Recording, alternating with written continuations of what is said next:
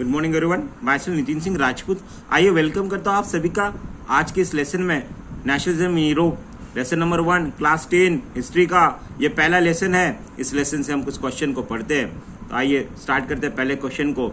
What changes did Napoleon introduce to make the administrative system more efficient in territories rule by him तो what are the changes Napoleon ने क्या changes किए थे? आइए पढ़ते one one one by one this are nothing but reforms done by the Napoleon इनको Napoleon ने किए हुए रिफॉर्म्स भी कहते हैं। Napoleon introduce the following changes to make the administrative system more efficient in the Europe Europe के अंदर administrative काफ़ी इफिशियंट होने के लिए फिर से नेपोलियन ने यहाँ पे कुछ बदलाव किए थे। The civil code of 1804 known as Napoleonic Code did away all the privileges based on birth. The first uh, effect was that civil code of 1804 वे नेपोलियन के चेंजेस को सिविल कोड ऑफ़ 1804 भी कहते हैं। पहला क्या किया? Did away all the privileges base on birth तो जो भी अधिकार चर्च को नोबल को सर्टन राइट्स बाय बर्थ थे, उनको निकाल दिया। डीड अवे निकाल दिया। Privileges certain right by birth निकाल दिया। अब न नोबल को अधिकार है, न चर्च को अधिकार है, इनके जो सर्टन राइट्स थे, उनको निकाल दिया। Second point administrative became more efficient अब एडमिनिस्ट्रेशन काफ़ी इफ़ेक्टिव कर दिया है। यहाँ पे ऐसे चेंजेस लाए कि एडमिनिस्ट्रेशन काफ़ी इफ़ेक्टिव हो गया है। Now third point security the right to property आपकी प्रॉपर्टी आपके पास रहेगी, कोई इसे नहीं ले सकता है। तो इस तरह से हर सिटीजन को अधिकार दे दिया कि राइट टू प्रॉपर्टी उनके पास में होगी। Fourth point simplified the administrative division और एडमिनिस्ट्रेशन डिवीज़न को अलग अलग हिस्से में बांट दिया। एबोलिश फिडल सिस्टम नोबल्स जो थे वे टैक्स लिया करते थे। इनके घर में काम करो खेत में काम करो ओके रोड कंस्ट्रक्शन के लिए काम करो। तो ये जो फिडल सिस्टम था इसको नेपोलियन ने हटा दिया।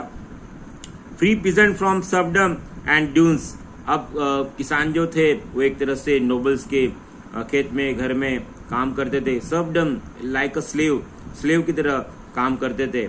और जो ड्यूज वो पे करते थे वो भी सब खत्म कर दिए। इन द टाउन्स टू शहरों के अंदर guild restriction were remove guild मतलब होता है व्यापारी ऑर्गेनाइजेशन जो गिल्ड uh, ऑर्गेनाइजेशन था जितने भी ऑर्गेनाइजेशन थे मर्चेंट्स के इनको हटा दिया. Transport and communication system improve देखो ट्रांसपोर्ट को और कम्युनिकेशन सिस्टम को और भी इम्प्रूव कर दिया. देखो जिस देश का ट्रांसपोर्ट अच्छा होता है वहाँ पे काफ़ी मतलब एक तरह से इम्प्रूवमेंट आता है. आप देखो ट्रेड्स डिपेंड करता है ट्रांसपोर्ट के ऊपर। ट्रांसपोर्ट अच्छा होगा तो और भी अच्छे से वहाँ पे बदलाव हो सकते हैं। तो reaction to this changes what are the reaction of the people where Napoleon started new changes reforms Napoleon ने किया किया था? वहाँ के लोगों के क्या इम्प्रूवमेंट मतलब उनके रिएक्शन क्या रहा? Peasant artist workers new businessman enjoyed new found freedom इस तरह से किसानों को आर्टिस्ट को वर्कर्स को एक तरह से नई आज़ादी मिली, अपना बिज़नेस और फ्लोरिश करने की आज़ादी मिली। Businessman and small scale producers goods particular began to realise uniform laws standardise weight and measurement would be facilitate काफ़ी फैसिलेशन मिल गया। एक तरह से क्या होगा, किसान जो थे, पहले गुलामगिरी जो सर्वडम था, वो हटा दिया। आर्टिस्ट वर्कर्स को भी गिल्ड रिस्ट्रिक्शन हटने से काफ़ी नए बिजनेसमैन को भी ये आज़ादी मिली। एक तरह से किसानों को गुलामगिरी से आज़ाद मिली।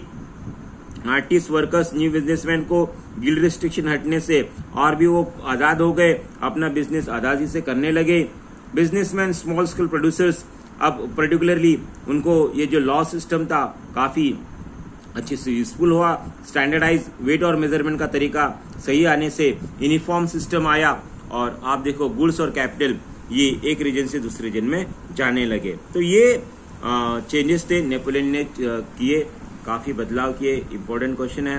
एग्ज़ाम में explain any three changes Napoleon introduce to make administration more efficient so actually ये चेंजेस कहाँ किए? नेपोलियन ने फ्रांस के अंदर किया और यूरोप के अंदर जहाँ भी जैसे स्विट्जरलैंड डचेस ऑफ़ कैंटोन्स जहाँ भी स्विट्जर यहाँ नेपोलियन का मतलब दो countries were own by Napoleon Napoleon ने जो भी कंट्रीज़ जीते थे, उन्हीं सारी कंट्रीज़ में ये सारे चेंजेस लाए थे। अगला क्वेश्चन, काफ़ी important exam point of view से। ये रहा आपके सामने।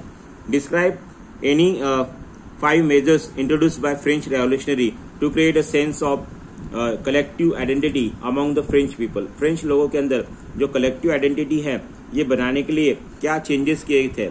आइए हम पढ़ते हैं। So these are the changes okay now we will read one by one आगे वन बाय वन पढ़ते हैं। So the following methods introduce by French revolutionary to create a sense of collective identity लोगों के बीच में एक collective identity बने और आप सब लोग एक तरह से फ्रांस के सारे लोग इकट्ठा हो, एक यूनिटी बने लोगों के बीच में। इसलिए पहली आइडिया लाई ला पार्टी एंड ला सिटीडोन दो आइडियाज़ लाई। इसमें क्या होगा, फ्रांस ये फादरलैंड हो गया।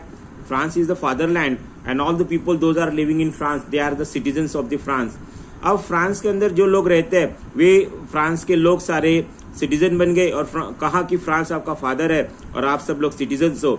ये नोशन या आइडिया लाई और सभी लोगों को इक्वल राइट्स इक्वल राइट्स बोला कि कॉन्स्टिट्यूशन आप सभी को इक्वल राइट्स देगा। मतलब सिर्फ़ सब लोग एक है, फ्रांस आपका फादर है और आप सारे लोग सिटीजन हो।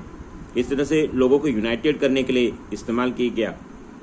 Second new French flag tricolour was chosen replace the former royal standard यहाँ से ट्री कलर यहाँ तिरंगी मतलब तीन कलर का फ्रेंच का फ्लैग लाया। ये तीनों स्टेट को रिप्रेजेंट करता है। The state general was elected the body of active citizen rename the national assembly state general ये बनाई गई एक्टिव सिटीजन लोगों की और उसको नाम दिया national assembly fourth point new hymns were compose नए गीत रचे गए।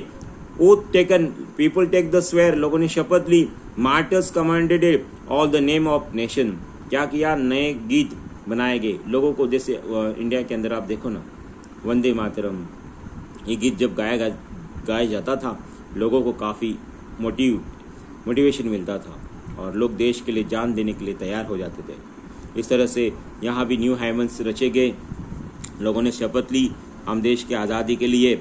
हम एकजुट हो गए फ्रांस को एक रिपब्लिक कंट्री बनाएँगे।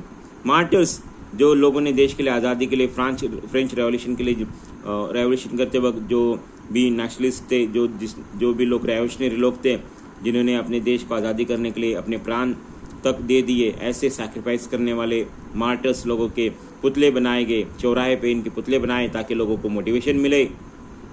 Fifth one fifth one a administrative system system was put in place of formulated uniform laws, all citizens within the territory. एक तरह से एक सेंट्रलाइज एडमिनिस्ट्रेटिव सिस्टम लाया कि जो सभी के लिए सेम रूल होगा within the France area France के टेरिटरीज के अंदर जितने भी सिटीजन रहते हैं, इनके इनके लिए सबके लिए इक्वल लॉज लाए गए। Six one internal custom duties were abolish अब कोई कस्टम ड्यूटी नहीं है, ना ही आपको कोई टैक्स भरना है। यूनिफॉर्म सिस्टम ऑफ़ वेट और मेज़रमेंट न्यू एक अनोखा मतलब सभी के लिए सेम ऐसा वेट और मेज़रमेंट का तरीका लाया।